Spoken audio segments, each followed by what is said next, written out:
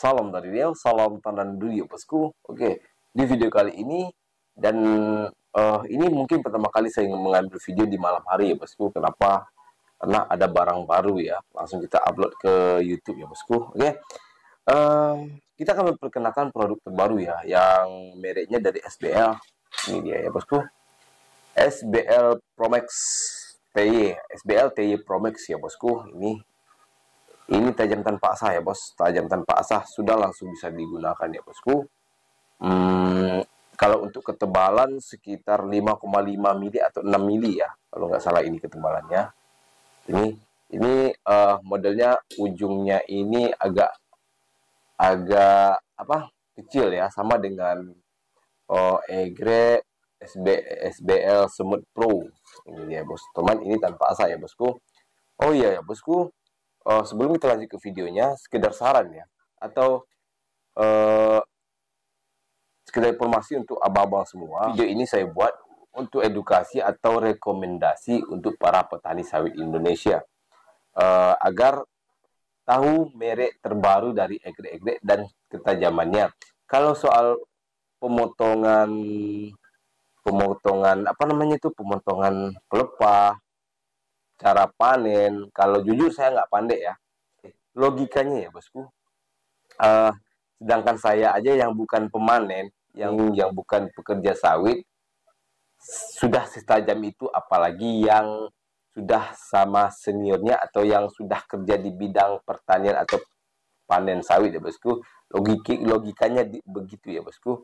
Nah, jadi kalau untuk cara pruning saya kalau salah itu memang betul saya nggak pandai pruning.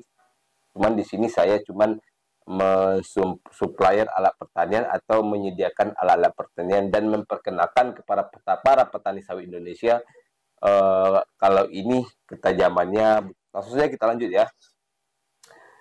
Uh, ini dia SBL TY Pro Max ya. Ini model terbaru model standar tanpa diasah. Ini kenapa saya bilang tanpa asah? Ini lebih tajam dari eh, SBL Semut ya, SBL Semut Pro atau SBL Semut Premium ya bosku. Kenapa? Karena di sini sudah nampak finishingnya ya, lebih halus matanya daripada Semut Pro ya. Ini lebih halus, lebih eh, lebih apa? Lebih apa namanya itu ya, lebih tipis dari yang saya lihat dari Semut Pro itu ya, yang Semut Pro Premium yang warna gold itu. Nah, jadi untuk ketebalan ini dia ya bosku, untuk ketebalannya ya. Nah, ya bosku.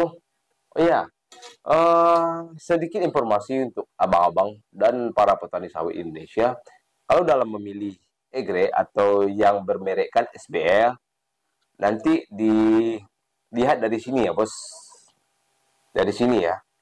Kalau nanti ujungnya terlalu begini, itu jadi tanda tanya ya bos. Jadi tanda tanya ciri khas SBL ciri khas SBL itu ada di sini ya.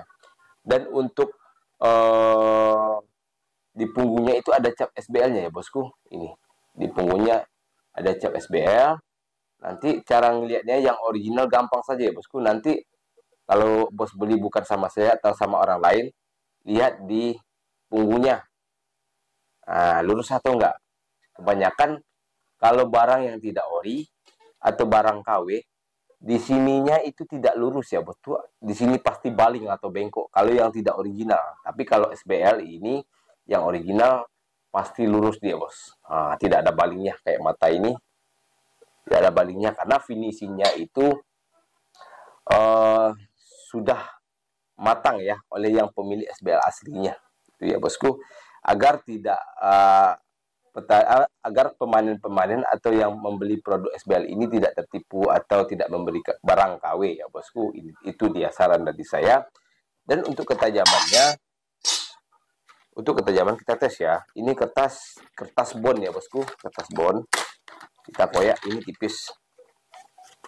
Uh, kenapa saya bilang SBL TY Pro Max ini lebih tajam dari SBL Semut Gold? Uh, karena saya lihat dari finishing mata ini udah udah apa ya udah udah tipis. Dan saya saya pegang matanya itu lebih tajam daripada SBL semut oh, gold ya. Ini dia. Kita coba ya bos. Langsung ke kertas bonnya. Nah kelihatan ya. Cara makannya kelihatan.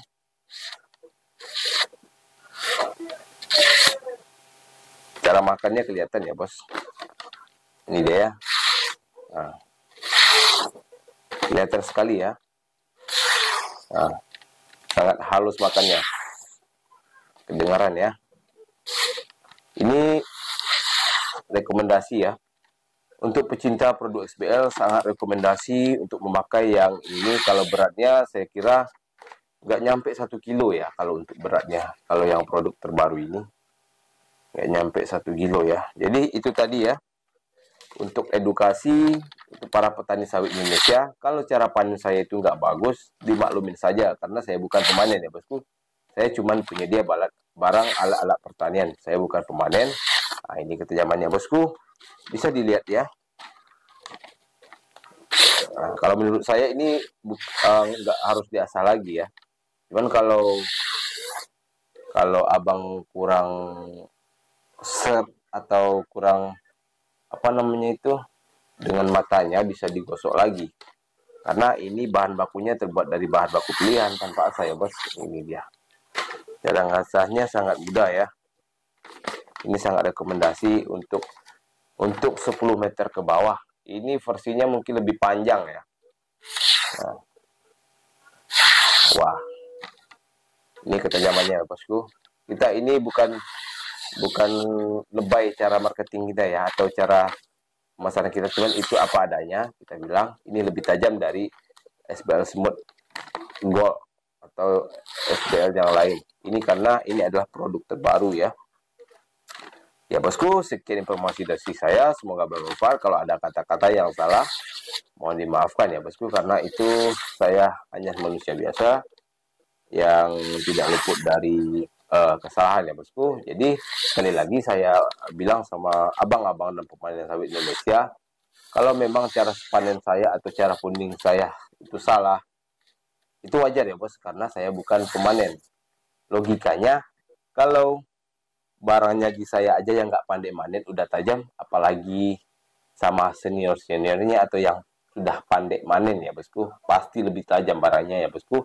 Dan satu lagi, semahal apa pun barang yang kita beli, satu juta, dua juta harga egre atau se kayak apa pun kualitasnya, kalau kita tidak pakai teori makainya, itu akan habis ya bosku. Tidak, tidak akan bertahan lama, saya jamin tidak akan bertahan lama ya bosku. Karena uh, saya lihat untuk egre sawit ini harus teori juga yang main, bukan harus asal hantam saja ya bosku. Oke, sekian terima kasih. Semoga video saya kali ini bermanfaat. Segitu dulu ya bosku. Oke, untuk info pemesanan silahkan langsung dicek di link di bawah atau dicek di deskripsi atau layar saya di samping sini ya bosku. Terima kasih banyak. Semoga bermanfaat. Assalamualaikum warahmatullahi wabarakatuh.